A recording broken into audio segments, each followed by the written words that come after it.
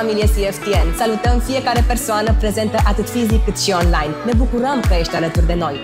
Vrem să știi că Dumnezeu te iubește, are planuri cu viața ta și are un scop pentru tine. Dacă vrei să afli mai multe despre noi, accesează pagina noastră de Facebook sau Instagram și ia legătura cu noi. Suntem bucuroși să te cunoaștem. Urmează un program care te poate transforma, te poate vindeca și elibera. Dumnezeu dorește ca tu să descoperi pentru ce ai fost creat și cum să pășești în destinul pe care El l-a scris pentru tine. Dumnezeu poate restaura chiar astăzi viața ta. Bun venit în familia CFTN!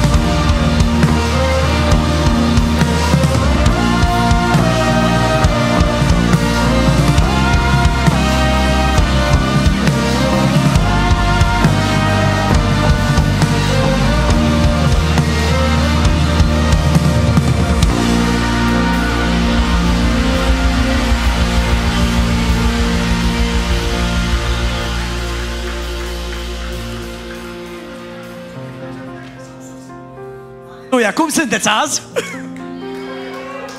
Cum sunteți azi?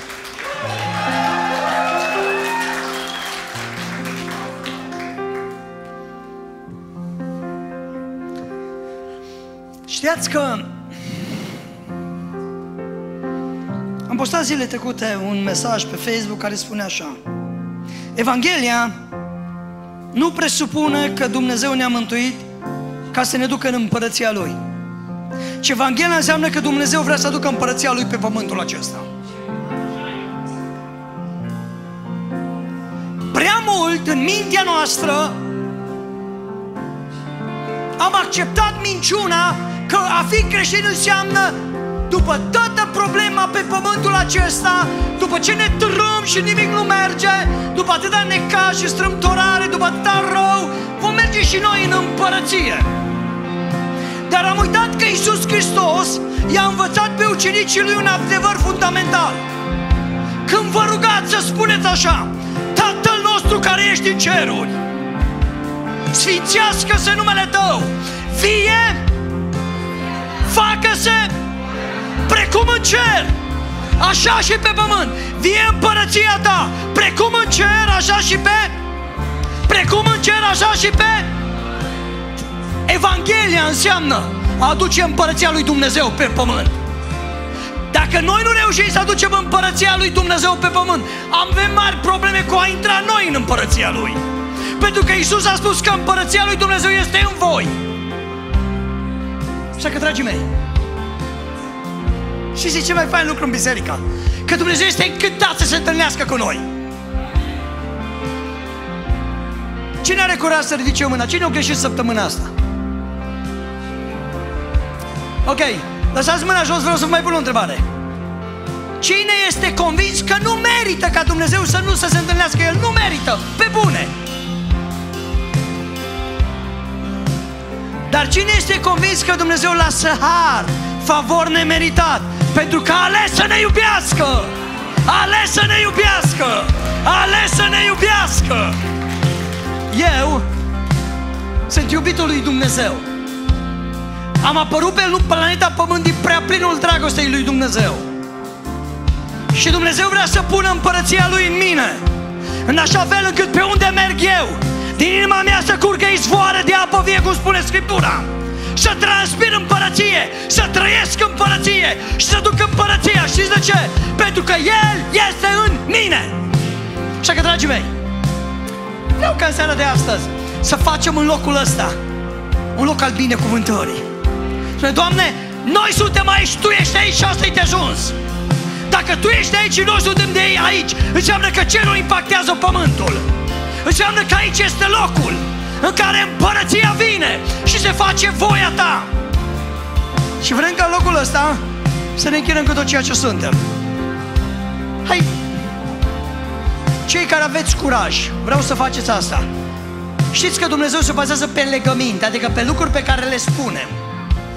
Vreau să te întorci la cel de lângă tine și să-i spui așa, nu-mi pasă de nimeni, azi mă voi întâlni cu Creatorul. Și mă voi închina cu tot ceea ce sunt eu.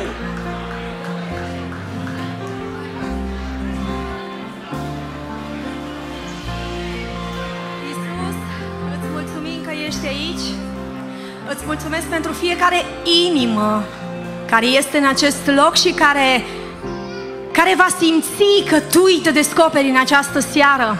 Îți mulțumesc pentru fiecare persoană care a venit în Siloam, pentru că are nevoie de tine, are nevoie de prezența ta, are nevoie de puterea ta, are nevoie de vindecare, are nevoie de restaurare, are nevoie de tine, Isus. De aceea îți mulțumesc că tu în această seară vei lucra într-un mod extraordinar și noi te vom simți și sufletul nostru va fi umplut de puterea și de prezența ta. Sufletul nostru va fi umplut de bunătatea ta și de dragostea ta, Doamne, care curge, pentru că tu ai spus că ești dragoste. Tu ești dragoste și noi vrem ca în această seară să sărbătorim, să sărbătorim, să fie o sărbătoare în care copiii tăi se bucură pentru că regele lor este prezența lor, Doamne. Îți mulțumim, vrem să ne bucurăm pentru că regele nostru este aici. Este aici și lucrează, lucrează într-un mod extraordinar, lucrează într-un mod în care noi o să-L vedem în această seară și îți mulțumesc, Duhul Sfânt, pentru tot ce vei face. Așteptăm Așteptăm și primim tot ce ai pregătit pentru noi. Amin.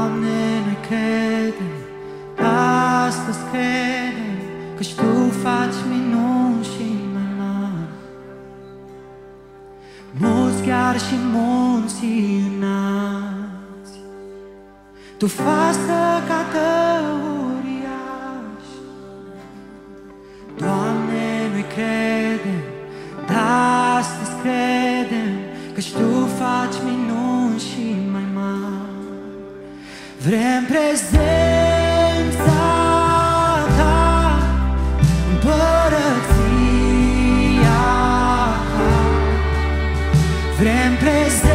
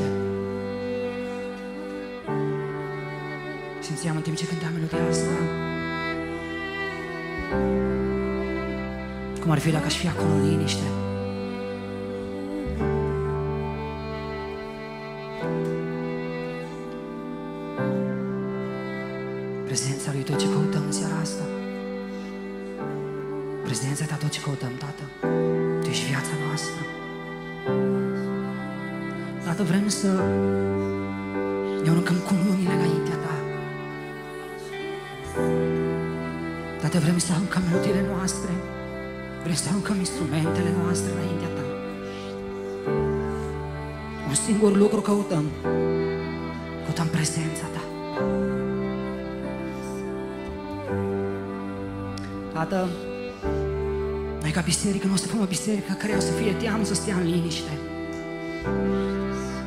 Nu este o biserică, Tată, care are curajul să oprească instrumentele și să arunce inima înaintea împăratului. Noi avem curajul ăsta, Tată. Tu ești viața noastră, Tată. Tu ești viața noastră. Și o să rostim lucrul ăsta. Prezența ta e cel mai frumos lucru pe care noi putem să-l trăim.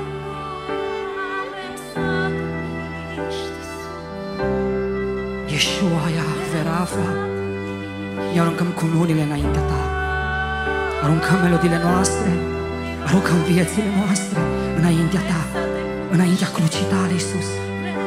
Tu ești viața noastră, Tu ești viața noastră, Tu ești viața noastră. Tu ești suflarea noastră, Tu ești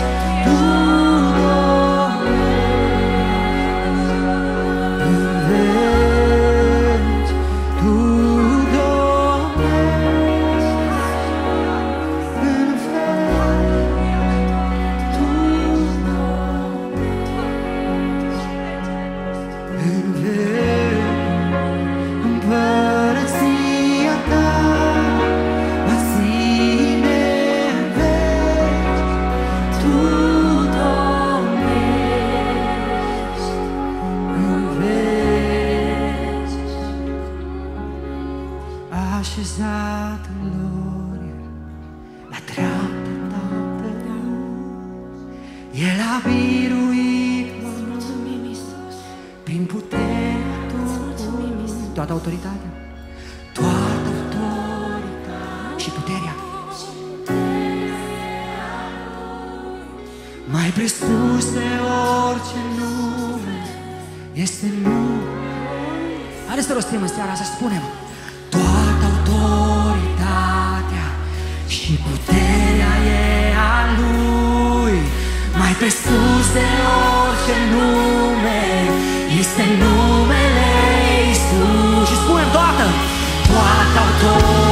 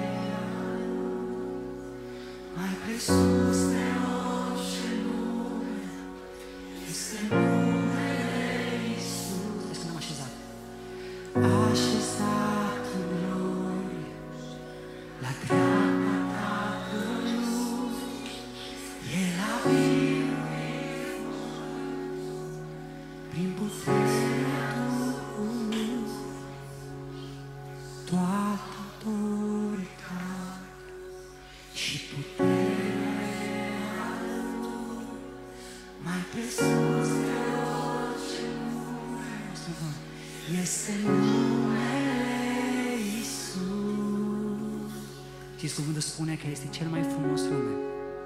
El este cel mai frumos nume. Doamne Iisuse, îți mulțumim pentru prezența Ta. Iisuse, Tu ești viața noastră. Iisuse, și Tu ești centrul închinării noastre. Iisuse, cel mai frumos lucru este că Tu ne vezi goi în momentul ăsta. Tu vezi dincolo de toate zidurile pe care noi le-am ridicat. Tu vezi dincolo de aparențe. Tu ne vezi așa cum suntem, Iisus. Iisus, în adevăratul sens al cuvântului, vrem să ne aruncăm cu nunile înaintea Ta.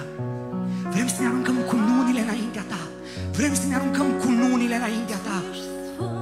Tu ești vrednic de lauda noastră, Tu ești vrednic de închinarea noastră și Tu ești singurul vrednic, Iisus. Tu ești singurul vrednic, Iisus. Tu ești singurul vrednic, Iisus. Tu ții pământul acesta în mâinile Tale și Tu privești pe închinarea noastră, Iisus. Ajută pe fiecare, Iisus, să ne îndrăgostim de Tine. Ajută-ne să ne îndrăgostim de Tine. Focusul vieții noastre să fii Tu. Iisus, ești cel mai frumos. Ești cel mai extraordinar.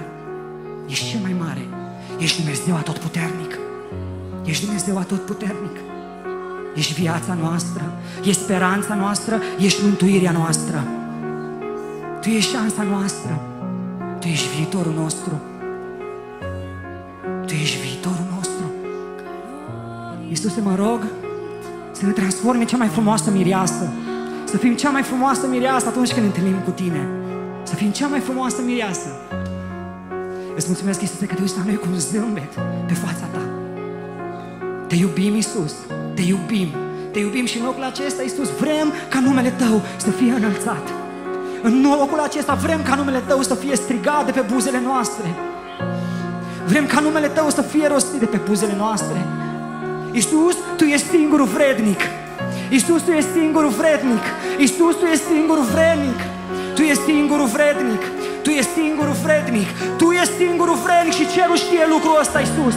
Și pământul în seara de astăzi se unește cu cerul și spune Vrednic, vrednic, vrednic este mielul Vrednic este mielul Vrednic este leul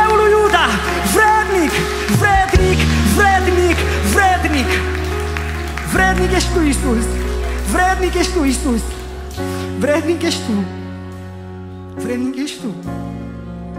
Tu ești viața noastră, Iisus. Tu ești singura noastră speranță. Tu ești singura noastră speranță, Iisus. Ești singura noastră speranță. Îți mulțumesc, Iisus, că vezi dincolo de toate greșelile noastre. Îți mulțumesc, Iisus, că dragostea ta e atât de, de radicală. E atât de radicală, Iisus.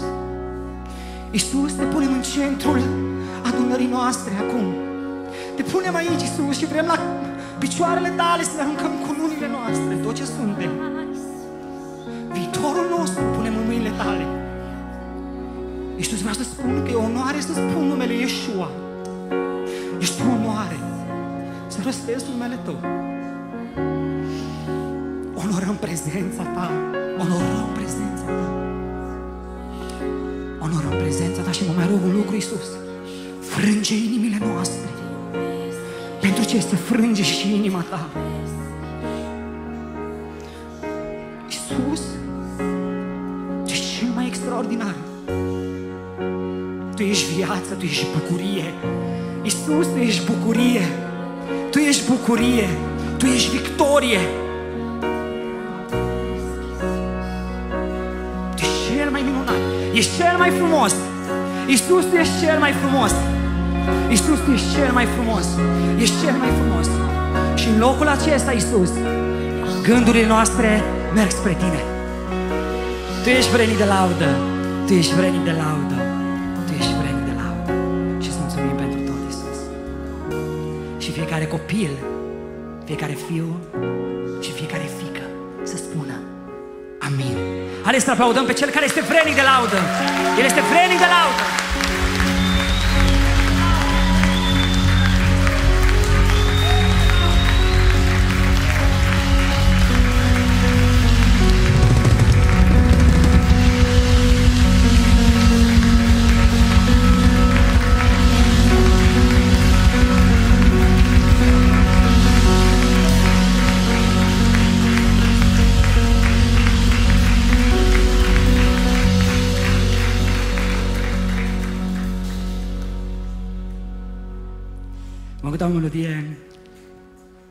Ce fain introducem cu colecta după așa momente faine. Ce mai extraordinar lucru să simțim prezența Lui. Ce mai frumos lucru și să știți că și în momentul de colectă putem să stăm într-o ati- atitudine de dragoste și de reverență la adresa Lui. Mă gândeam melodie timp în care mă face și colecta.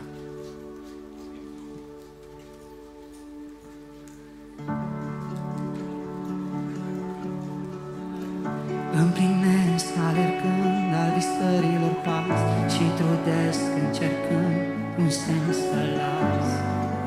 Peste a lumii neuitare Dar lumea a impus fiu și tot ce-mi poate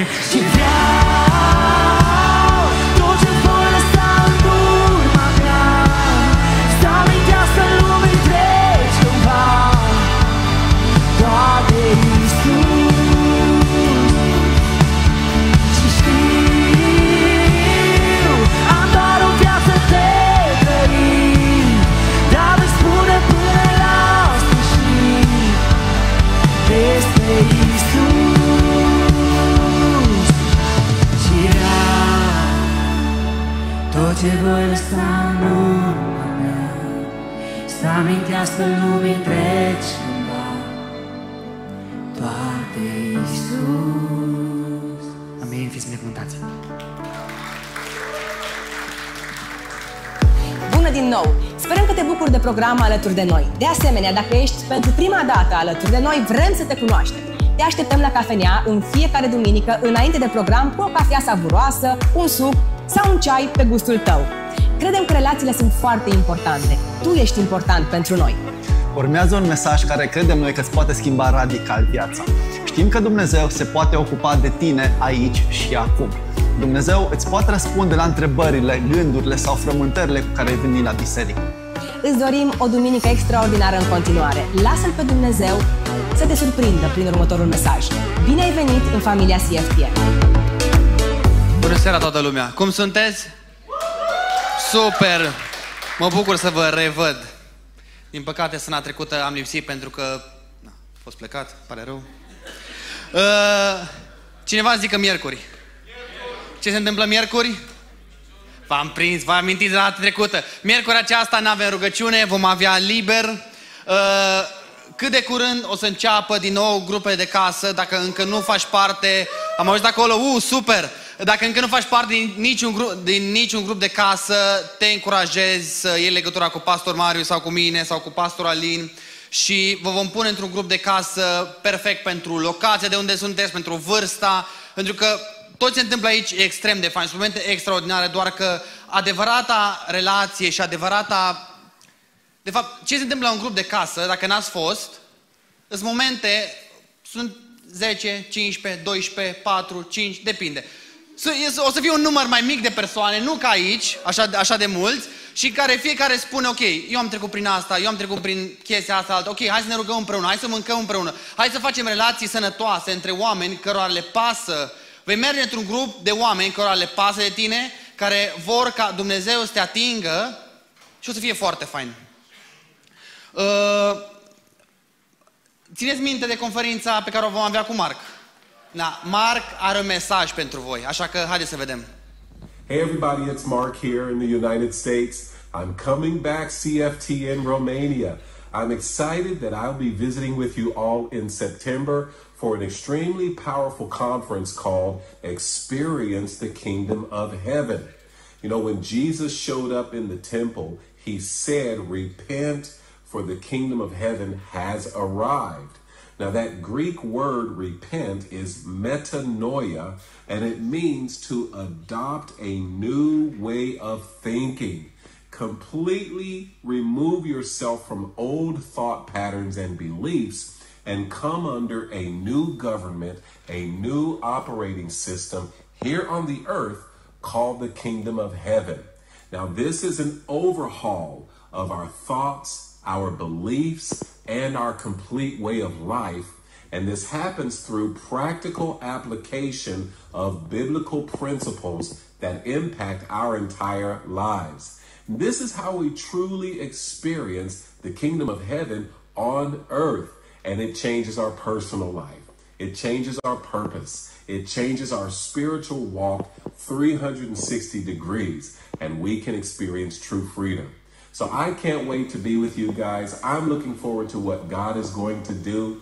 And I hope to see every single one of you, my Romanian family, there.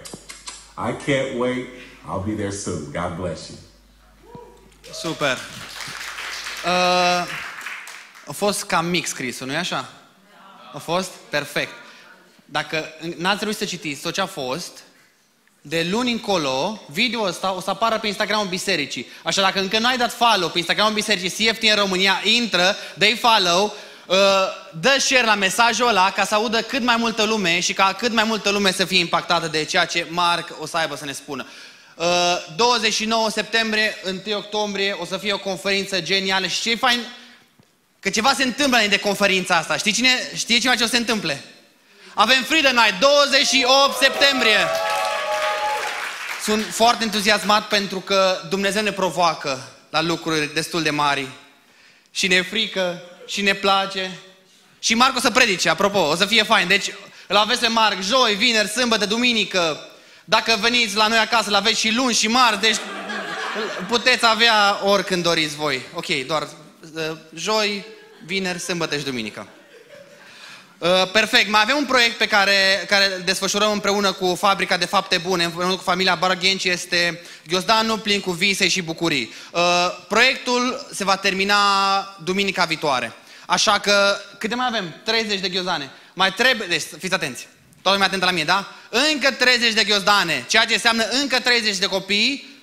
În momentul ăsta, nu, o să meargă, o să înceapă școala fără un ghiozdan. Așa că haideți să ne punem finanța la dispoziție, haideți să ne punem inima la dispoziție ca să adunăm cele 30 de ghiozdane pentru acei copii. Rând din față, nu știu de ce râde de mine.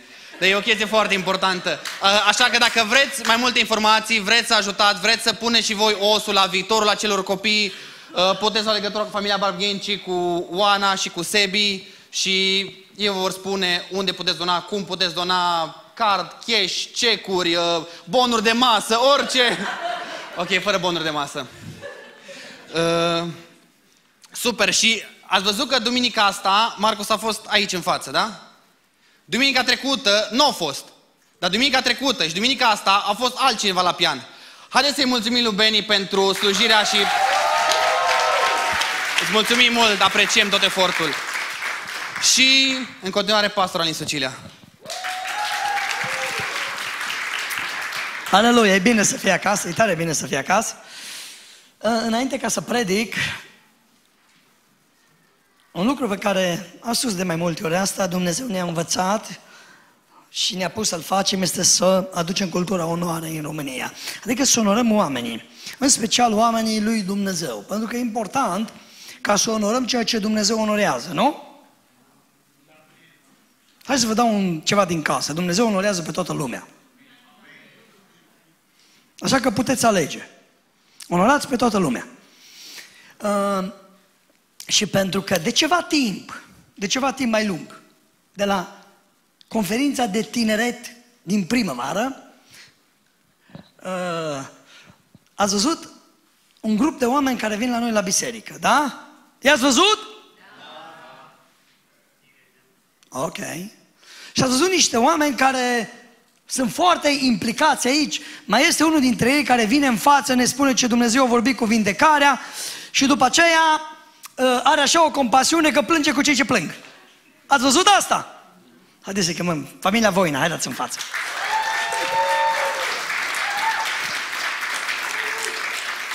Niște oameni extraordinari, Dumnezeu îi folosește într-un mod incredibil, au pe inimă ca să câștige oameni pentru împărăție, haideți sus.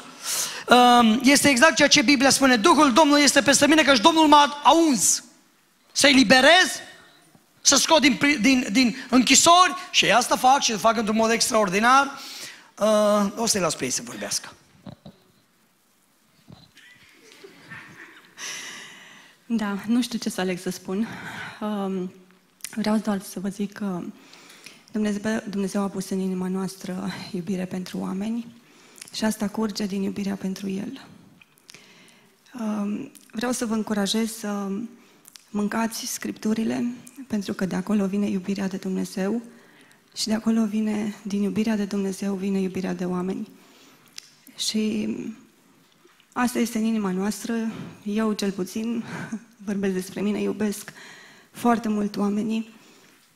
Um, Și încerc să fac și să continui ceea ce Iisus a început pe pământ, și anume acea misiune pe care a dat-o și ucenicilor mai departe.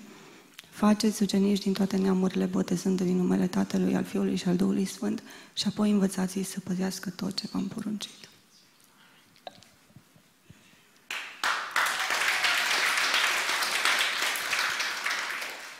Mă bucur că am trecut de la tranziția de biserică la tranziția de familie.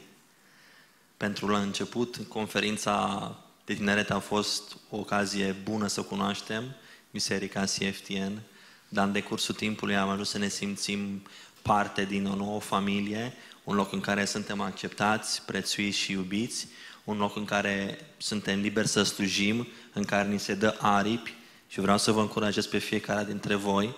Știți că aveți o chemare peste viața voastră, aveți aici doi pastori care, patru pastori, care vă dau aripi și vă ajută și cu platformă și tot ce aveți nevoie să mergeți înainte, să câștigați împărăția și să o extindeți.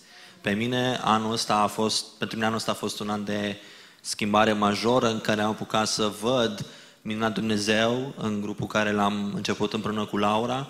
Am văzut copii schimbați, am văzut tineri schimbați, adulți, chiar și de vârsta a doua oameni schimbați. Am ajuns să cunosc inima lui Dumnezeu pentru cei care sunt legați și să simt o povară pentru asta și cred că Dumnezeu îmi confirmă din ce în ce mai mult chemarea în vindecare și eliberare, să lupt pentru cei care sunt legați și ungerea care știu că a fost peste Isus este înăuntru nostru, pentru că avem același Duhul Sfânt care este și în mijlocul vostru și în interiorul vostru. Amin. Vreau să întindem mâna către ei, să-i binecuvântăm, fac o lucrare extraordinară. Apropo, uh, când ați început primul grup? În luna noiembrie. Noiembrie anul trecut, da? Anul trecut. Ok. Câți oameni l-au primit pe Hristos de atunci? Um, le știm numărul. Mulți. Dacă credeți că nu funcționează, în România este greu, nimeni nu se pocăiește. Oamenii sunt flămânzi. Oamenii au nevoie de cineva care să le ducă vestea bună. Așa că, dragii mei, cu curaj. Haideți să întindem mâna către ei să-i binecuvântăm. Tată, îți mulțumesc pentru acești doi oameni prețioși ai tăi. Îți mulțumim pentru că ei au văzut chemarea pe care tu ai pus-o peste ei, au acceptat-o și au început să acționeze în virtutea chemării pe care ai pus-o. Îți mulțumesc pentru toate lucrurile pe care li le descoperi lor și apoi prin ei, ei, ei le împărtășesc mai departe. Mă rog această veste bună a împărăției să curgă și timp ce ei binecuvintează pe alții, viața lor să fie tot mai binecuvântată. În numele Lui Iisus Hristos, mă rog, Tată, ca orice nevoie pe care o au să fie împlinită. În numele Lui Iisus Hristos mă rog să deschizi ochii să vadă care este viitorul pe care Tu l-ai pregătit pentru ei. Și fiecare binecuvântare pe care eu, eu o dau mai departe se întoarcă de 100 de ori mai mult peste ei. În numele Lui Iisus Hristos. Îi binecuvântăm acum ca oameni, îi binecuvântăm ca familie, îi binecuvântăm ca slujitori. Și mă rog, Tată, ca toate lucrurile de care ei au nevoie, că sunt financiare, că sunt uh, de relații, indiferent care sunt lucrurile acelea, că sunt de împuternicire, să curgă peste ei în numele Lui Isus Hristos. Și să mulțumim. Îți mulțumim, Tată, că Tu scoți tot mai mult focuri și modele, pentru ca oamenii să le vadă și să meargă după ele. Îi binecuvântăm acum în numele Lui Isus Hristos. Pe ei, familia lor, casa lor, lucrarea lor, finanțele lor, fiecare lucru pe care îl au, în numele Lui Isus Hristos. Amin.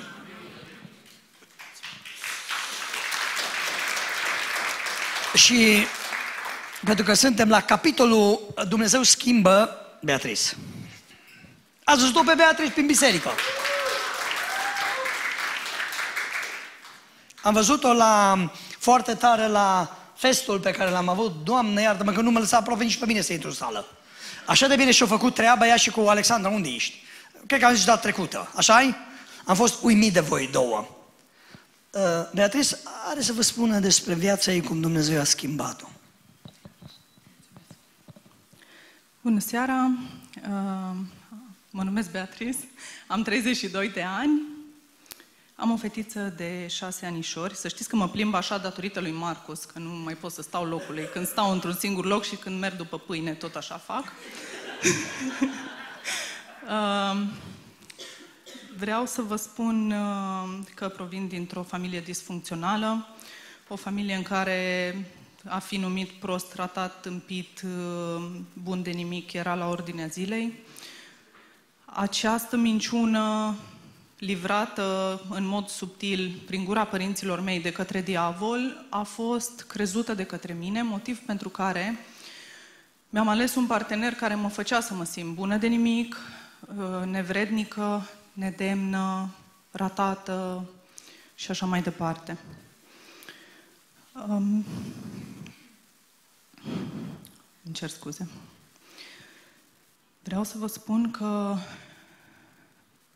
toate uh, aceste abuzuri la care am fost supusă, am fost abuzată fizic, am fost abuzată psihic, emoțional și în toate modurile posibile, inclusiv financiar, uh, nu s-au întâmplat degeaba.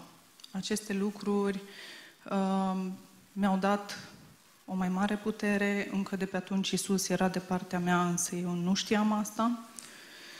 Uh, credeam că sunt singură. Um,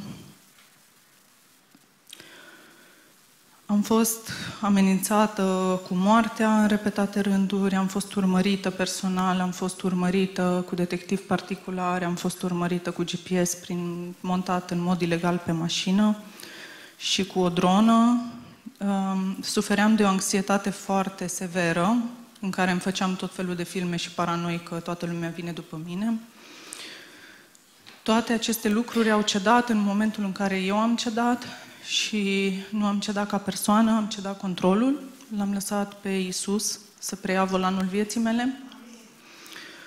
L-am lăsat pe El să înlocuiască orice traumă cu iubire, orice abuz cu acceptarea Lui necondiționată și mai mult decât atât, vreau să vă spun că în durerea mea mi-am găsit chemarea. Uh, acolo unde mă durea cel mai tare, asta am ajuns să fac astăzi. Așa cum Isus m-a luat pe mine de mână să mă conducă prin fiecare traumă, așa iau eu oamenii acum, pentru că uh, activez în domeniul consilierii. Mai mult decât atât, m-am înscris la Facultatea de Psihologie, ca să fiu și cu acte în regulă. Um,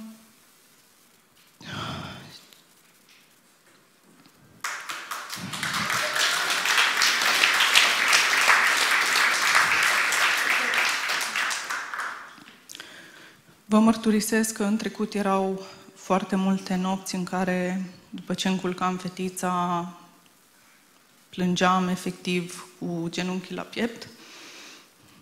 Și ok, adică e ok să, să faci asta. Uh, voiam să se termine pentru că totodată duc și niște lupte juridice. Ultimii mei trei ani de zile au fost pictați cu plângeri nefondate la protecția copilului, plângeri uh, înscenate penale la poliție, uh,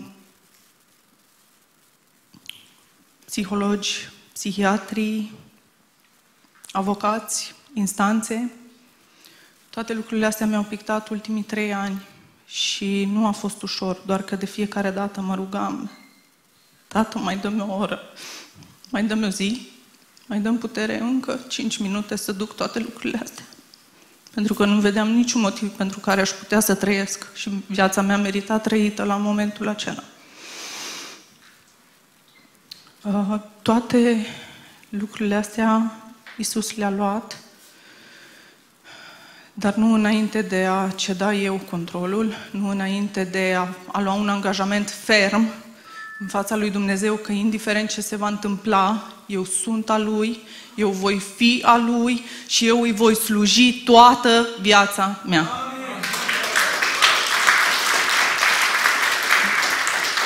Și nimic nu mă va opri din asta.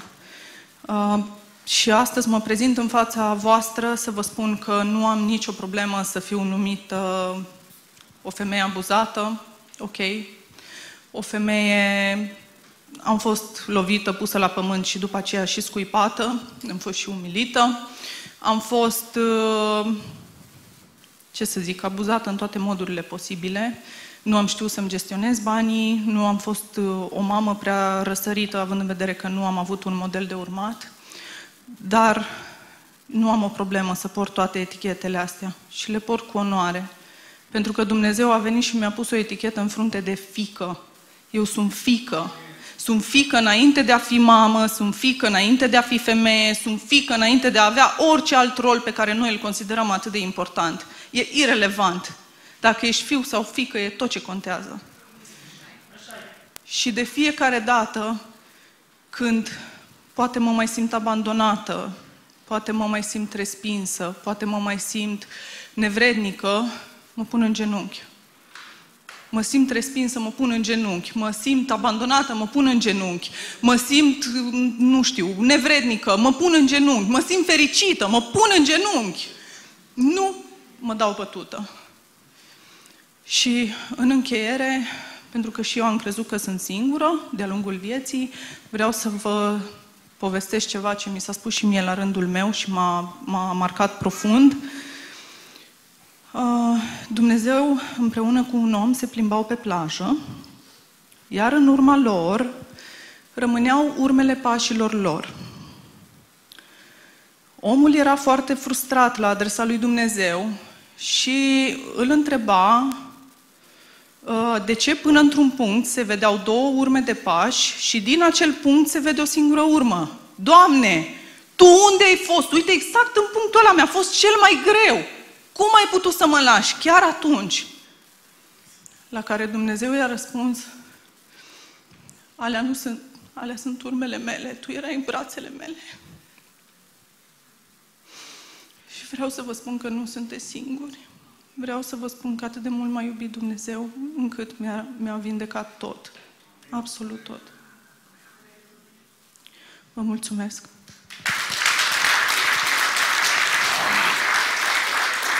Nu, acum e chiar greu să predici.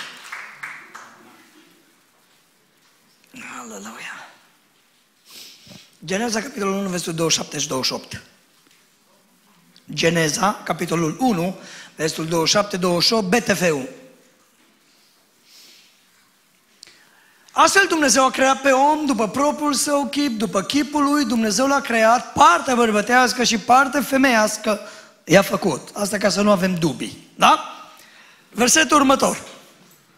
Dumnezeu i-a binecuvântat și le-a zis, fiți roditori, înmulțiți-vă, umpleți pământul, supuneți-l și domniți peste peștii mării, peste păstrele cerului și peste fiecare viețuitoare care se mișcă pe pământ. Dumnezeu l-a binecuvântat pe om după ce l-a creat, l-a pus în grădină și a spus, Creșteți, înmulțiți-vă, umpleți pământul, fiți reprezentanții mei, stăpâniți peste toate lucrurile. Trăiți binecuvântarea și dați-o mai departe. Înmulțiți-vă în felul de binecuvântare pe care v-am dat-o vouă. Ce v-am dat vouă trebuie să dați mai departe.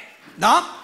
Spune Biblia. Și umpleți pământul cu oameni și cu familii care să trăiască binecuvântarea, care să fie oameni care să stăpânesc peste lucruri, care să nu fie oameni conduși de lucruri, ci ei conduc lucrurile, care să fie oameni care să știe să ducă împărăția lui Dumnezeu mai departe. Interesant. Numai câteva versete mai încolo, în următoarele capitole, Dumnezeu spune, blestemat este acum pământul din pricina ta. Din pricina voastră. E problema. Numai câteva versete mai încolo spune, spin și pălămit o să da pământul, cu durere vei naște fi, Cain îl omoară pe Abel și din tot versetul ăsta nu mai rămân decât bucăți, frânturi și lucruri pentru care omul se luptă cu trudă și sudore. Dumnezeu are un plan, Dumnezeu gândește un plan, îl spune omului, îl binecuvintează pe om și acum vă rog frumos să țineți. Îi face o grădină specială pentru el și îl pune în grădină după ce tot lucrul este făcut gata. Îl pune acolo. Pregătește toate lucrurile și ascultați-mă bine.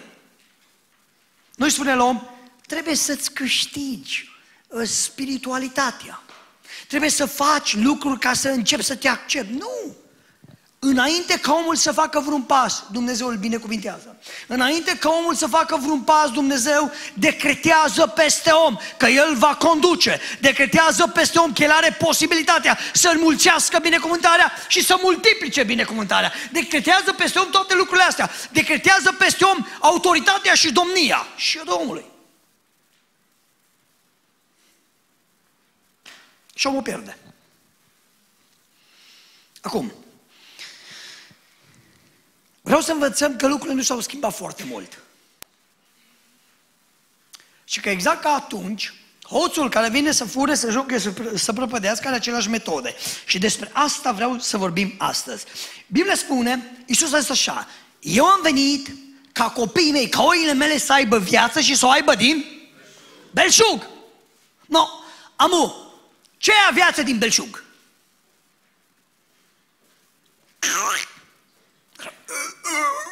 Cum e greu ca pe pământ ai viață din belșug. ce e viață din belșug? Gândiți-vă bine. Cum arată? Încercați acum să faceți un, un, un exercițiu de imaginație. Închideți ochii și gândiți-vă cum vă închipuiți voi viața din belșug.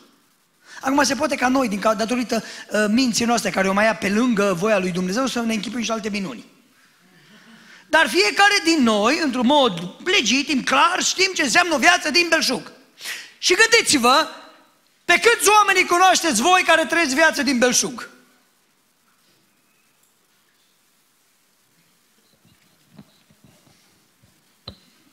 Acum, întrebarea serioasă este, cum putem noi să trăim viața din belșug?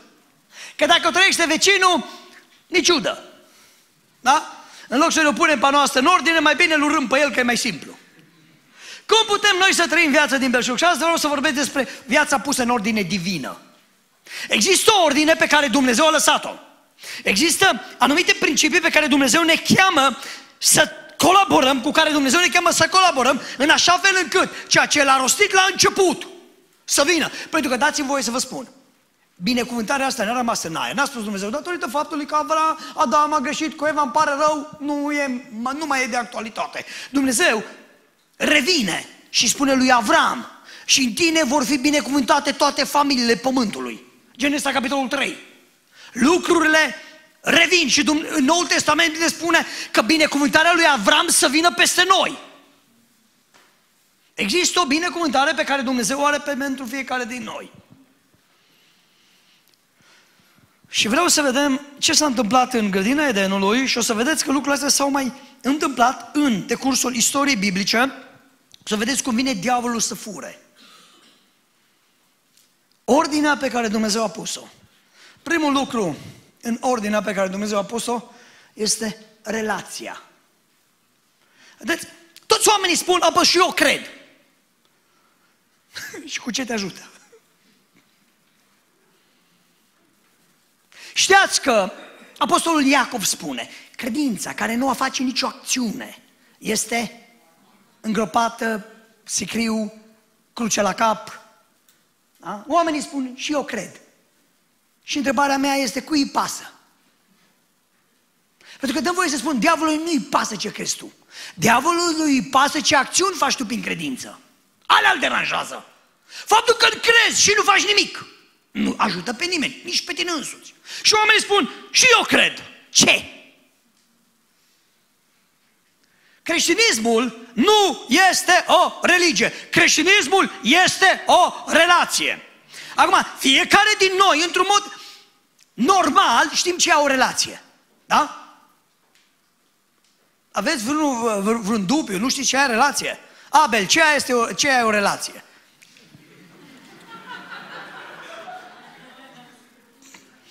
S-a roșit, dar ce te roșit așa? da? Uitați cum o ține de mână. Doamne, iartă-mă în biserică. El știe ce e o relație, da? Apropo, cine de aici are peste 50 de ani? Căsătorit. Ați putea defini o relație? Am putea, așa Haideți să vă dau, zilele astea citeam o chestie tare. Până pe la vreo 20-30 de ani de căsătorie, nu prea știi ce e relație. Înveți. Abia după aia te-ai prins și abia după 30 de ani începi să o trăiești în plin. Am dreptate cei care au 30 de ani de căsătorie. Mă, mă, ce nu m-a susținut deloc. Mă, și eu care vreau să mă dau mare. Ok.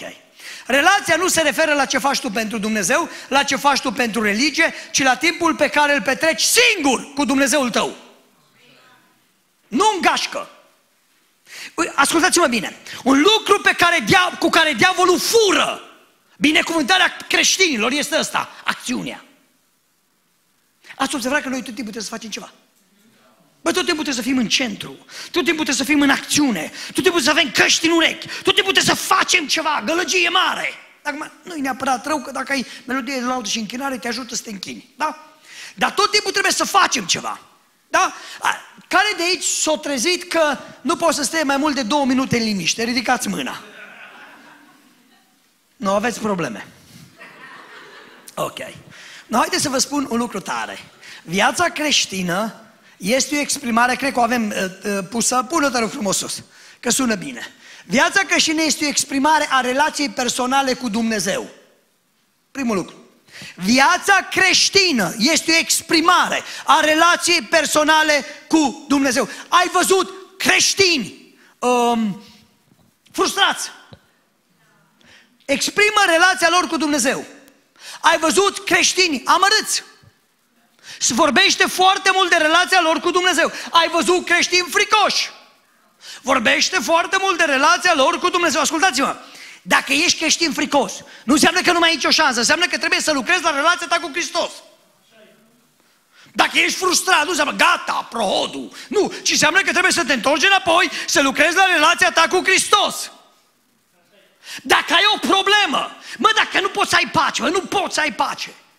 Trebuie să te întorci la relația ta cu Hristos.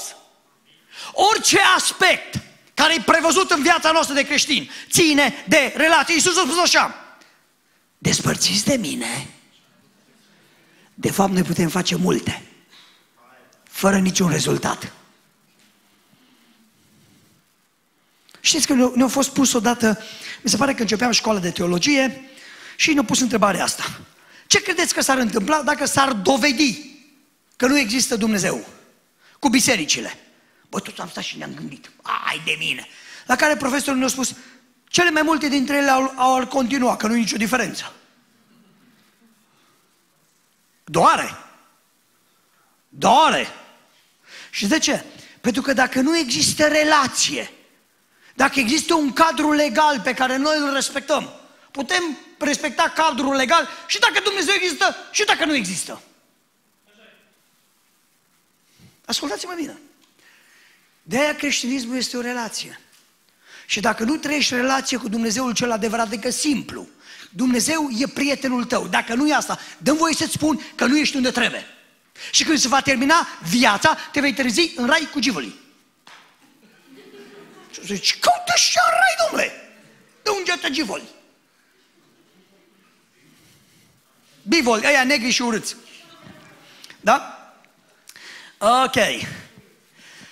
Dumnezeu a gândit ca identitatea și slujirea noastră să fie o curgere a relației pe care o avem cu noi. Primul lucru, nu poți să ai identitate corectă, clară, dacă nu ai relație cu Dumnezeu. N-ai cum.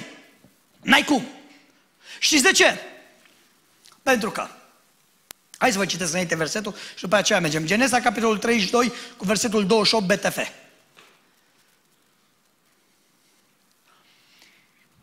El i-a zis, și aici vorbește despre Dumnezeu, da?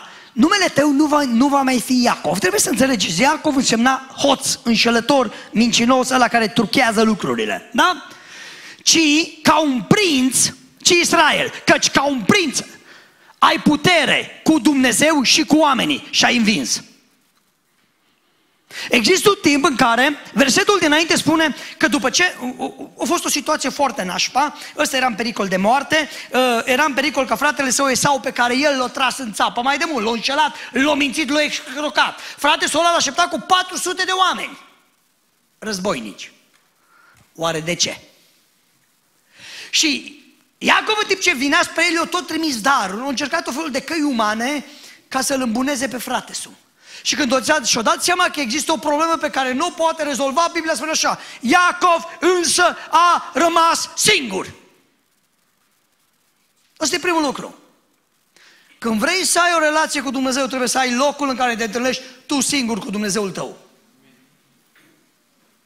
Creștinii cred asta. Apoi eu sunt bun creștin, de ce? Mă duc la biserică. Și ce?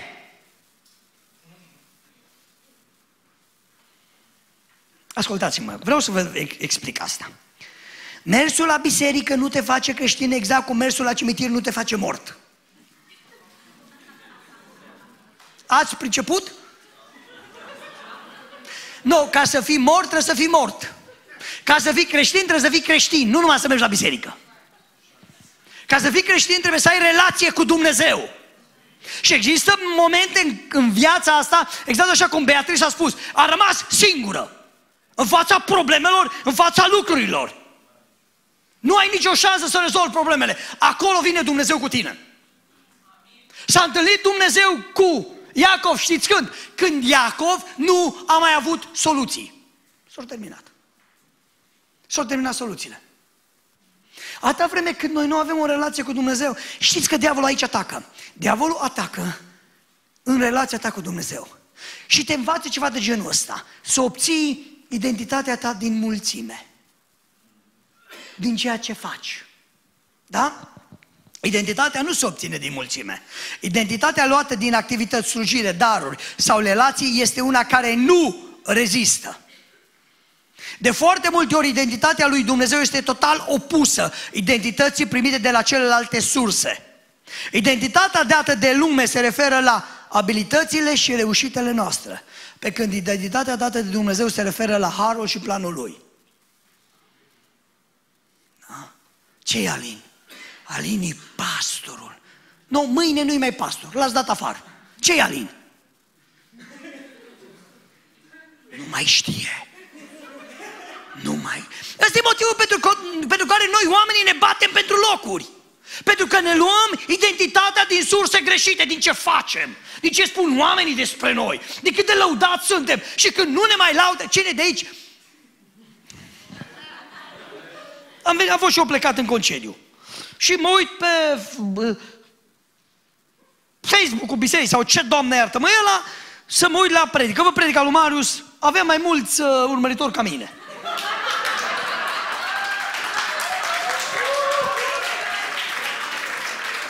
Primul lucru care a zis la Marius a zis, bă, tu ai văzut?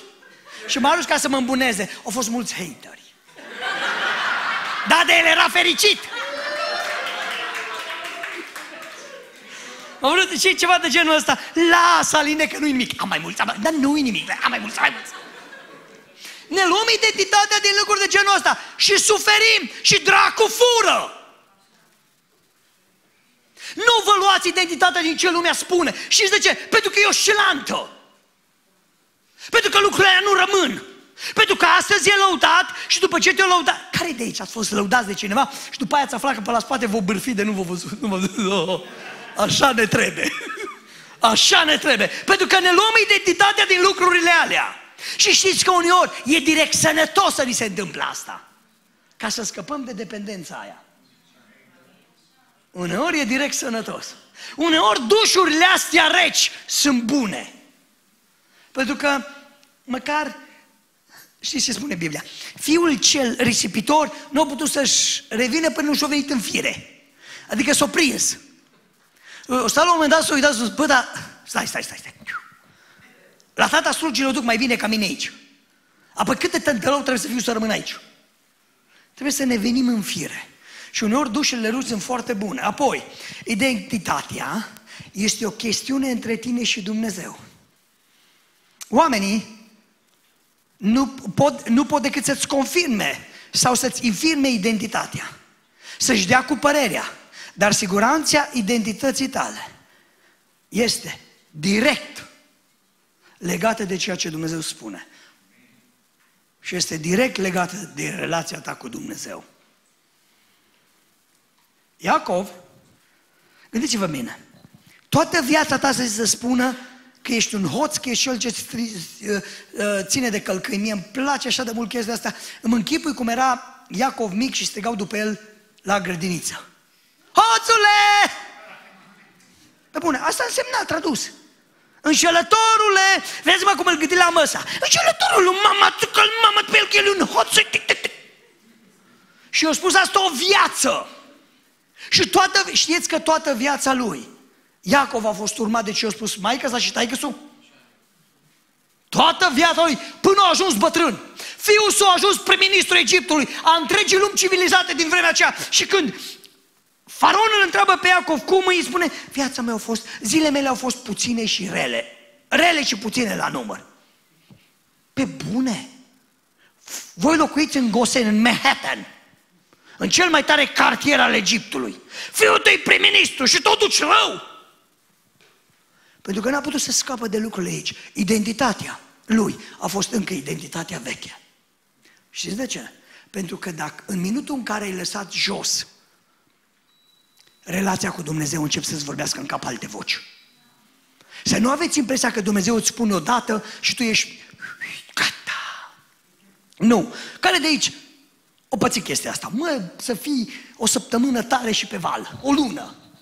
Dumnezeu m-a chemat tân, tân, tân, tân, tân, și mergi înainte și curajos și tap. Și cu timpul noi avem un obicei foarte interesant. Când suntem pe val, cine are nevoie de Dumnezeu când e pe val? Amen. Suntem pe val și merge și, și la un moment dat să gata valul. Și atunci încep să te scufunzi. Mi s-a întâmplat asta. Și te-ai gândit înainte la toată identitatea de care ai fost sigur acum o săptămână? Poate că nu e chiar așa. Poate că profețiile nu au fost chiar așa. Dar e sigur că se poate întâmpla. Și este absolut necesar să fie așa. Știți de ce? Pentru că dacă n-ar fi așa, noi n-am trăit în relație. Noi oamenii suntem așa de ciudați. Bă, n-am trăit în relație. Ne-am luat identitatea și zice, nu, Doamne, ne întâlnim în cer. Ceau! Da, vorbim acum în ceruri. Am terminat. și în ceruri! Azi am avut o discuție cu cineva foarte fain. Și mă dar și în ceruri cred că ne dă liber.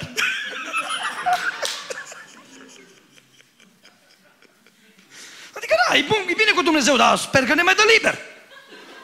O stă atâta pe capul nostru, oamenii nebunește de cap. Noi, oamenii, ascultați-mă, persoana care mi-a spus asta, ea a fost vocală. Ceilalți gândim așa. Da? Trebuie să învățăm identitatea noastră care vine din Hristos. Trebuie să învățăm că doar în relație funcționăm. Înțelegeți asta, am citit de câteva ori. Dumnezeu când a făcut pești, le-a creat un mediu în care să trăiască. Apa. Scoți peștele din apă, e nu mai pește, da? La păsări la fel. Pe om Dumnezeu l-a creat ca să trăiască în relație cu el. L-ai scos din relație, omul moare. De aia Biblia spune, plata păcatului este moartea, pentru că păcatul ne desparte pe noi de Dumnezeu și în absența lui Dumnezeu noi nu mai putem trăi în identitatea pe care El ne-a dat-o. Poți să fii în orice religie vrei pe lumea asta, dacă nu ai identitate ești mort. Și identitatea o avem doar din relație. Acum, un al doilea lucru. Dacă nu luăm identitatea din ce spune Dumnezeu despre noi, ne vom lua identitatea din ce spun alții. Ascultați-mă bine. Nu poți să fii neutru. Nu există neutralitate. Ori îți iei identitatea din relația cu Dumnezeu, dacă nu, într-un mod automat, îți vei lua identitatea din ceea ce alții spun despre tine. Pentru că noi trebuie să ne luăm identitatea din ceva. Gândiți-vă bine la asta. Dacă te-ai trezit după o amnezie, n-ai, nu mai știi nimic pe ce lume și vine cineva te întreabă, tu cine ești? Ce o să-i spui? Nu știu. Pentru că identitatea noastră e în funcție de relații și de lucrurile care se spun despre noi. De acord? Noi de acolo ne luăm identitatea. Și dacă nu ne luăm identitatea din Dumnezeu, o să ne luăm identitatea din minciuni. Din lucruri care nu sunt de la Dumnezeu. Apoi, câteva chestii, dar astea sunt faine. Identitatea care vine din ceea ce facem este este religie. Identitatea care vine din ceea ce facem este religie. Voi de care sunteți? Voi ce fa? Eu țin, l-am luat toată la ocazie, cu mulți ani în urmă, pe unul Eu conduceam, nu aveam mașină, făcuse pană undeva și l-am dus înapoi să-și ia mașina.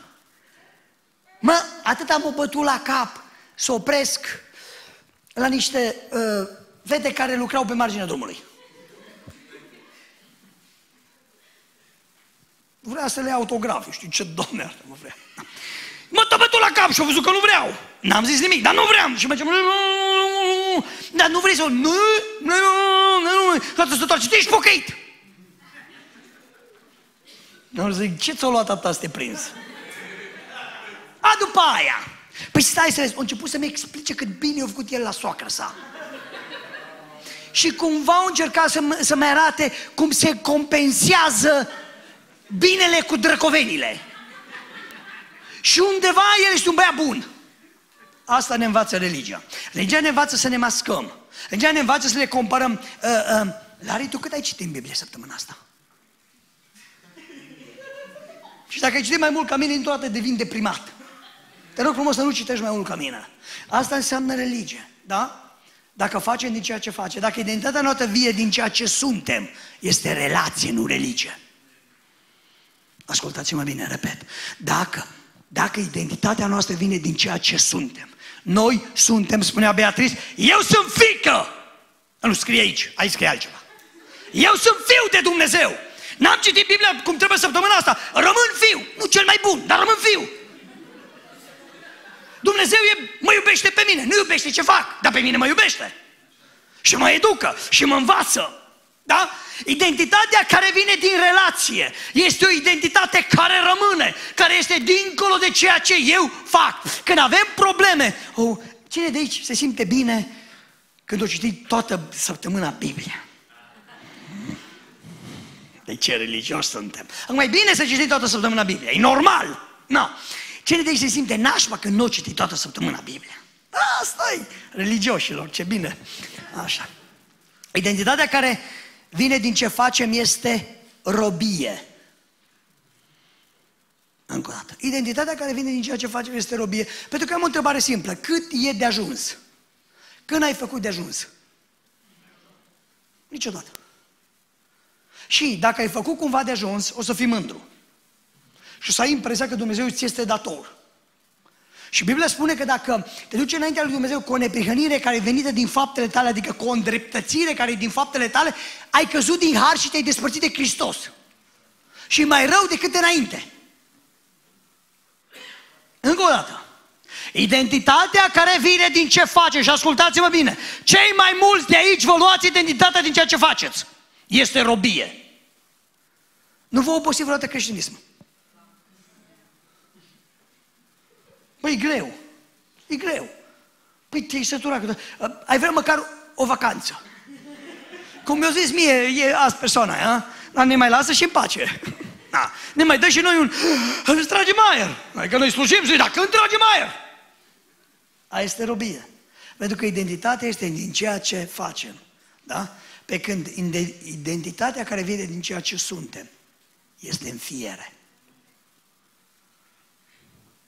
Identitatea care vine din ceea ce suntem. Citeam mai de mult că la un moment dat un copil fugea pe, uh, cu mulți ani în urmă pe holurile casei albe, printre oameni care stăteau acolo, tipe așa îmbrăcați, unul și unul, fugea acolo, la un moment dat a deschis ușa biroului oval, a fugit în față în mijlocul unei ședințe și a zărit în brațe la taicăsul, care era președinte. Ce drept avea să ajungă acolo? De fiu. O făcut ceva să ajungă acolo? Nu. Identitatea care vine din relație este în fiere. Gândiți-vă bine. Când Dumnezeu e tăticul, te gândești, oare când dă și mie tăticul liber? Să mă mai lase cu dragostea asta lui, că mă nebunește de cap. Să mă mai lase cu bunătatea lui, că mă, bă, bă, bă, mă sufocă. Nu. În spatele gândirilor de genul ăsta este o atitudine de rob. Și este bine că este la iveală, că numai așa putem scăpa de ea. Apoi, un al doilea lucru care vine din relație este revelația. Revelația înseamnă descoperirea lui Dumnezeu pentru noi în viețile noastre. Aia este revelație. Adică eu știu că Dumnezeu e bun, nu că mi-a spus baba Frosta de pe strada șaptea. Nici că mi-a zis pastorul la biserică. Nici că scrie în Biblia, Domnul este bun. Nu, ci știu că e bun pentru că e bun cu mine. de știu că e bun. Știați că în Biblie oamenii dădeau nume la Dumnezeu după experiențele pe care le-au avut. Avram îi pune numele lui Dumnezeu, Dumnezeu care poartă de grijă. De ce? Pentru că i-a purtat de grijă. Agar a pus numele, Dumnezeu vede și Dumnezeu aude. De ce? Pentru că Dumnezeu a văzut starea ei și a auzit-o când ea țipa, când era pe moarte împreună cu copilul ei în deșert. Au fost chestii de revelație. Nu trebuie să-i mai spun Avram. Agar, Dumnezeu aude. Probabil că eu zis asta. Avram. Dar pentru ea n-a însemnat nimic până n-a trăit pe, pe propria ei piele. A fost revelație. Revelația înseamnă cuvântul descoperit al lui Dumnezeu pentru noi. Chestiunea, istoria ta cu Dumnezeu, care nu poate fi înlocuită de nimeni pe lumea asta. Dacă n-ai revelație, o să fii purtat încoace și încolo de orice idee teologică pe care o aduce cineva. Știți că cuvântul care nu-i revelat, adică Biblia, versetul care nu l-ai revelat, care nu a coborât de aici, aici, ăla ți-l fură diavolul. Pentru că aici înseamnă acord intelectual cu un adevăr. Și ești de acord până nu mai ești de acord. Dar când e aici, ăla e a tău și nu mai fură nimeni. Au fost ani în viața mea în care chiar eram pastor. Și câteodată venea câte un gând, bă, da, există Dumnezeu. Bă! Cine a vorbit? Care e la Până pe seama că eu. Acum dacă cineva îmi spune, și dați-mi voie să vă spun, poate să fie om de știință emerit de care vezi noastră, Dumnezeu nu există, mă apucă râsul. Pe bune că mă apucă râsul. Mă uit și spun, săracul de tine, că de mic este creieruțul tău, cât o lună. Nu știu cum de-ai primit titlurile. Dacă nu te-ai prins de un adevăr simplu, că Dumnezeu există. Că Dumnezeu există. Revelația. Pentru, pe cunoașterea descoperirii dumnezeiești pe revelație va fi zită biserica. Matei, capitolul 6, versetul 15, și 15 la 17. Este ultimul lucru despre care o să mai vorbesc. Mi-am un punctuleț mic de tot. Dar voi, le-a zis Iisus la ucenici, după ce au întrebat, cine zic oamenii că sunt eu? Unii zic că ești Ilie, alții zic că ești profetul, alții zic că ești... Da. Observați, Iisus, dacă Iisus îi întreba primată, cine ziceți voi că sunt eu? Și ce spuneau ei? Spuneau ce au auzit la alții. Dar prima dată eu întrebat, cine zic oamenii? Eu au zis tot ce au zis oamenii și după eu zis, ok, am priceput. Acum, cine ziceți voi? Și dintr-o dată ucenicii nu mai fost vorbăreți. Serios că nu mai fost vorbăreți. Se uitau unul la altul și au rămas fără cuvinte. Adică dacă oamenii spun asta, înseamnă că noi ar trebui să spunem altceva. Apoi și noi ce zicem acum? Și Petru spune versetul următor. Simon Petru drept răspuns, drept răspuns i-a zis, Tu ești Hristosul, Fiul Dumnezeului cel viu. Versetul următor. Iisus a luat din nou cuvântul și a zis, Ferice de tine, pune-te rog frumos BTF-ul. Ferice de cine, binecuvântat ești tu, Simon Bar Iona. Ban înseamnă fiul lui Iona, da?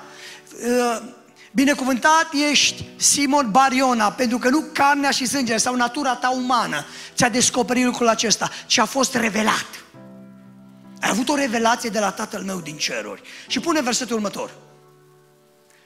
Și de asemenea îți spun că tu ești Petru și pe, cea, pe această stâncă voi zidi biserica mea. Și pe ce stâncă? Nu pe Petru, ci pe stânca revelației. Pentru tu ai avut o revelație. Și stânca revelație va fi stânca pe care va fi zită biserica. O biserică care nu are revelație moare. O biserică care nu are cuvântul lui Dumnezeu trăind în ea, biserica aia moare, aia are teorii. Și cu teoriile nu poți să ții în viață o biserică.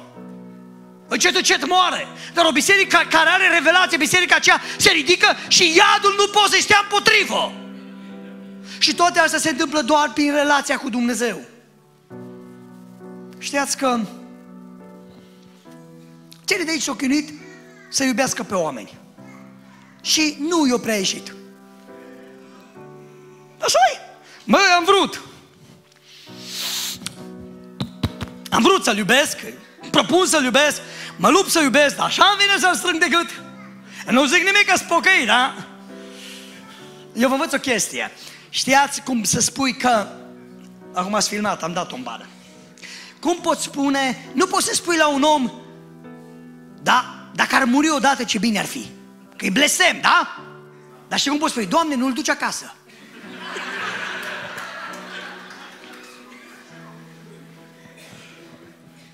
Ați văzut ce le avem noi oamenii? Ok.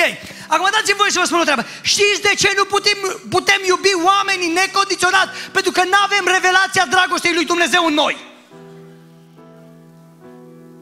Iisus face o afirmație incredibilă. Iertați-vă unii pe alții. Cum am iertat eu.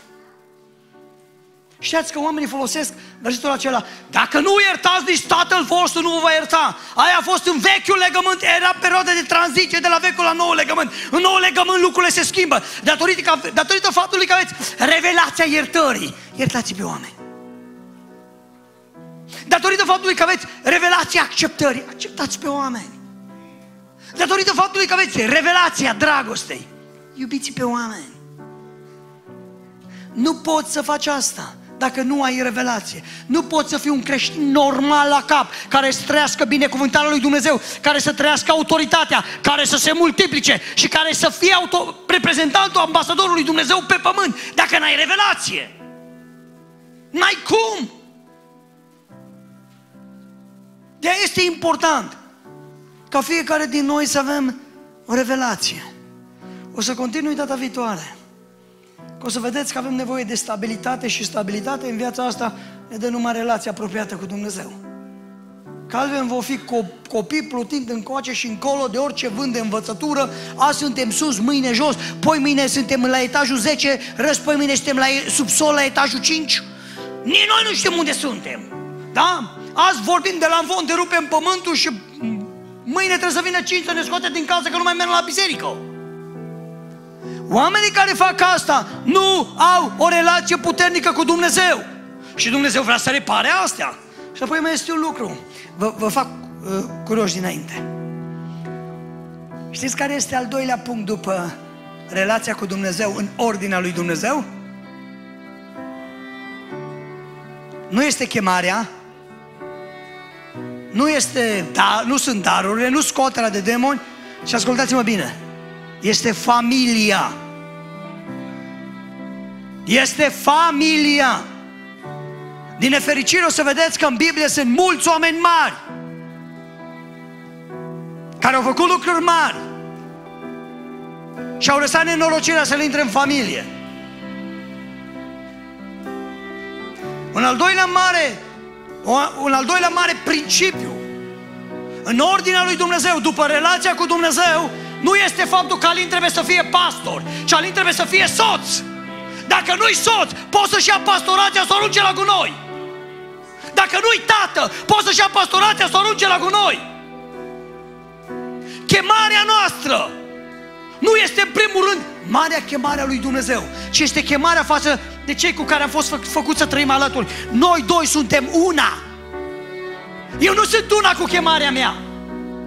Nu sunt una cu biserica, ci sunt una cu ea.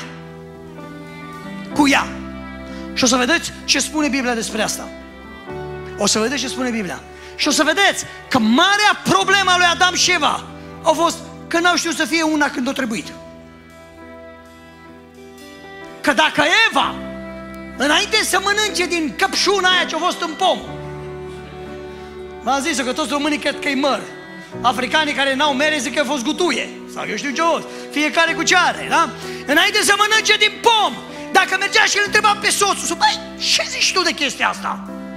Uite-te, eu hotărăsc să fiu supusă ție, că așa spune Biblia. Așa spune Dumnezeu.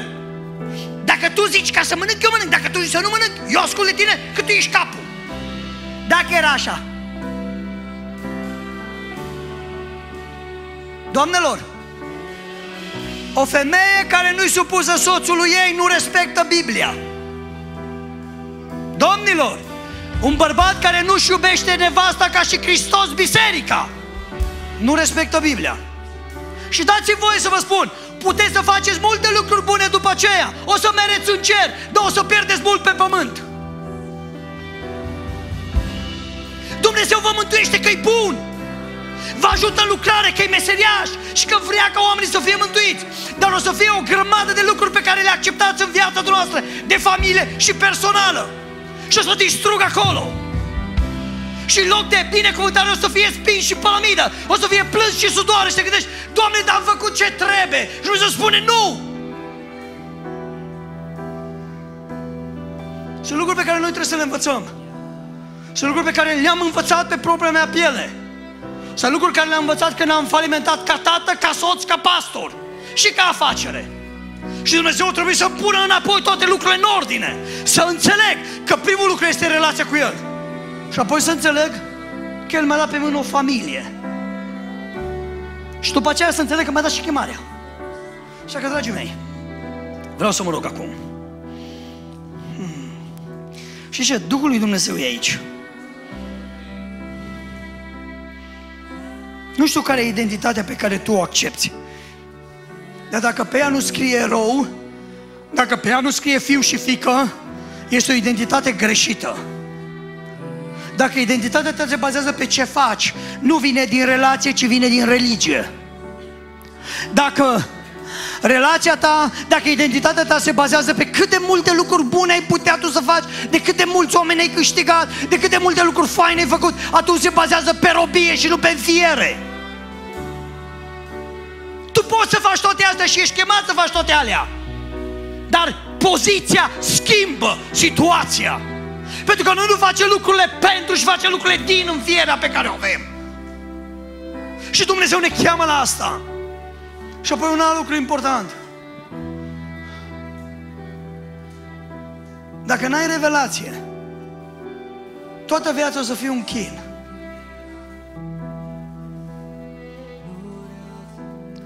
O să fie un război intens între o fi sau nu fi. Între ce să cred și ce să nu cred. Și oamenii spun de multe ori, păi, pe cine să cred? Că unii spun într-un fel și alții spun în altul. Și știți de ce oamenii pun întrebarea asta? Pentru că nu ei nu au o relație cu Dumnezeu care, prin care Dumnezeu să li se reveleze și să le spună adevărul Lui, nu adevărul altora. Tu n-ai nevoie de adevărul meu, tu ai nevoie de adevărul Bibliei care îți fie revelat ție. Și Dumnezeu vrea să facă asta.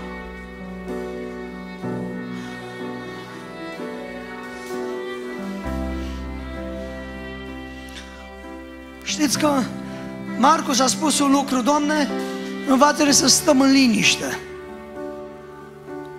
În judecător, Biblia spune că Ilie, când a ajuns la Horeb, după ce a fost destabilizat din toate punctele de vedere,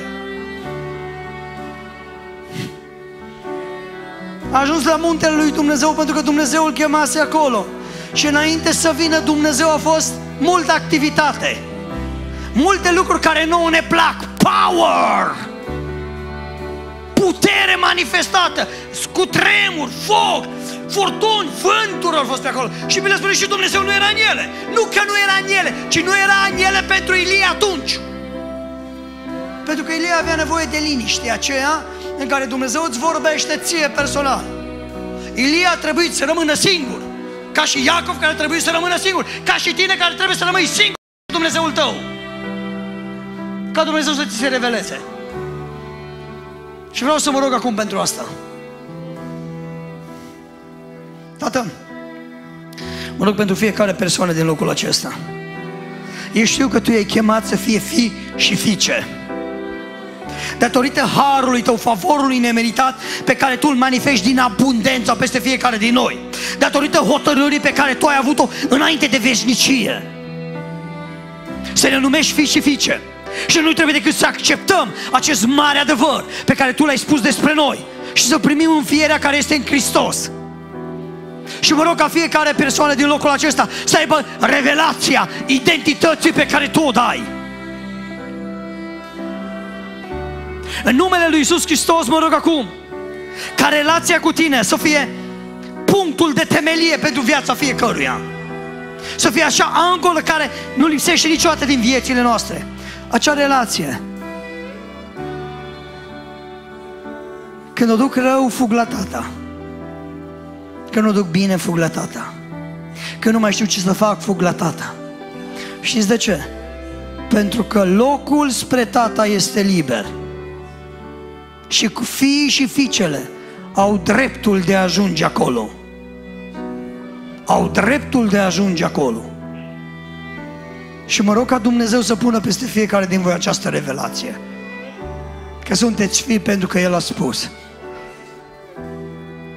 Că sunteți fii pentru că El a hotărât asta. Că există o dragoste care depășește rațiunea umană. Că există un Dumnezeu care a știut că eu o să greșesc și a hotărât să mă facă fiu în ciuda faptului că eu greșesc.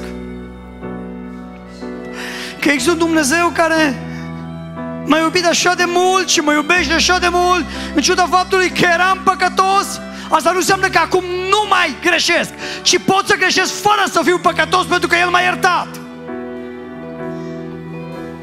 Și mi-a dat o nouă identitate de fiu. Și mă rog ca identitatea asta să vină peste voi. În numele Lui Isus Hristos, orice minciună pe care diavolul o pune despre cine sunteți voi să fie dată la o parte. Și mă rog să știți că voi sunteți iubiți de Dumnezeul cel prea înalt.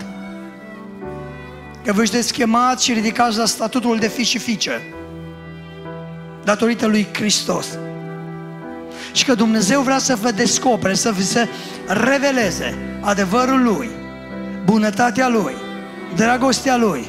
Pentru că atunci când voi o să vă o descoperiți, din inima voastră să curgă izvoare de apă vie, cum spune Scriptura. Și îți mulțumesc, Tată, în numele Lui Isus Hristos. Amin.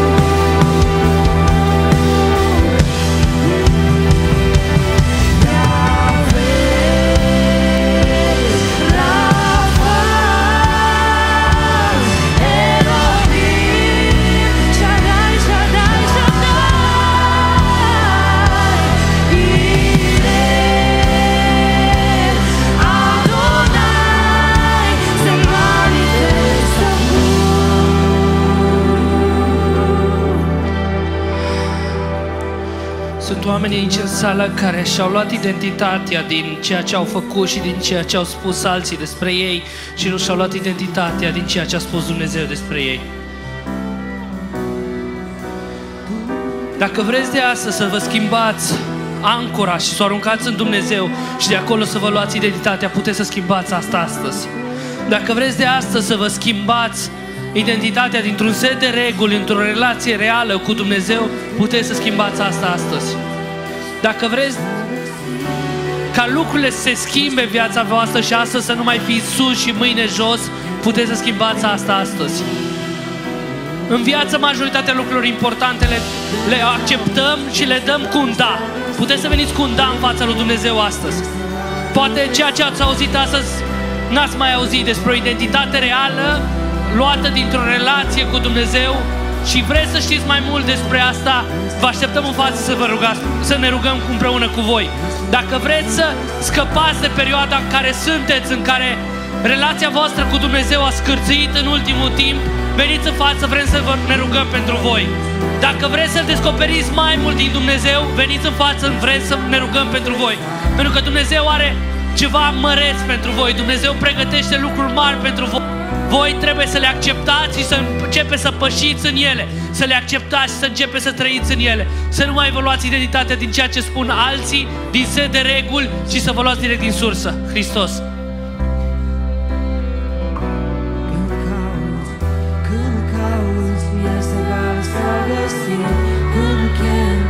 se va manifesta Când îl auzi, El coboară printre noi.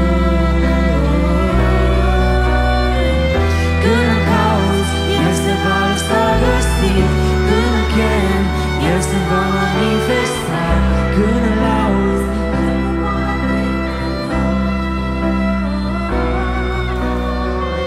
Când îl cauți, El se va lăsa găsit Când îl chem, El se va manifesta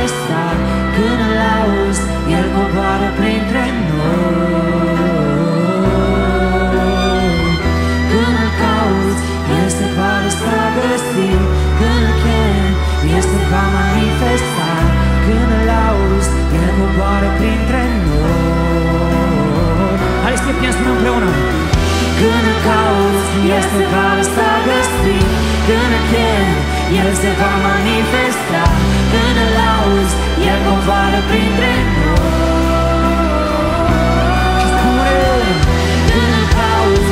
se va lăsa găsit. Când îl chem, El se va manifesta. Când îl auzi, El coboară printre noi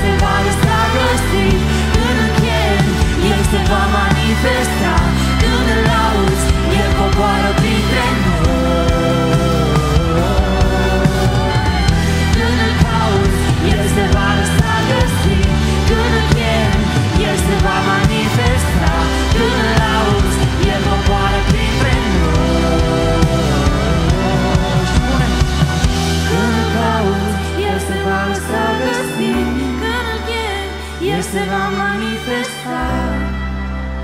El coboară printre noi. Când îl cauți, El se va lăsa găsit El se va manifesta cu putere. Printre noi coboară acum prezența Lui. El se va lăsa găsit Când îl chem, El se va manifesta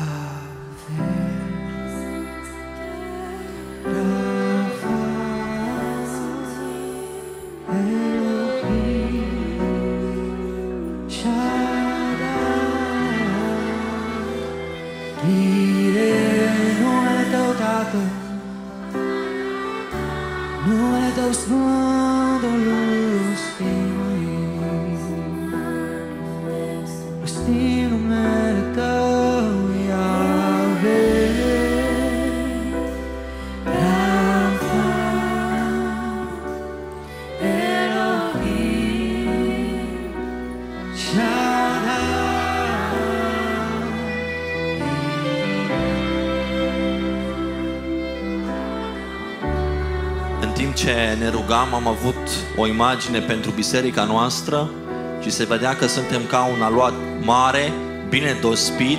Am văzut mâini de lumină care luau diferite bucăți, le frământau, le făceau cu sucitorul și la final ieșeau diferite forme de pâini, diferite forme de turte, ca să zic așa. Am văzut că nu suntem toți același tip de pâine, pentru că fiecare are o identitate unică. Așa cum sunt pâini ca și baghetele, ca și franzela, ca și pâinea pe vatră, fiecare din voi are un rol și un gust pe care să-l dea celor care sunt lângă voi, pentru că așa va chema Dumnezeu. Și a doua imagine, am văzut că vine o vreme, asta e pentru femeile care au soți care nu sunt mântuiți, am simțit asta foarte puternic, am văzut că sunte, sunteți întinse, vi se întinde cortul, vi se crește cortul și Dumnezeu cere să vă lăsați modelate de El, pentru că este scris că prin comportamentul vostru, fără de prihană, soții voștri vor fi câștigați și vor fi aduși aici în biserică să slujească înaintea Dumnezeului celui viu. Amin. Întoarce-te la cel de lângă tine și spune numele meu îl știe Dumnezeu.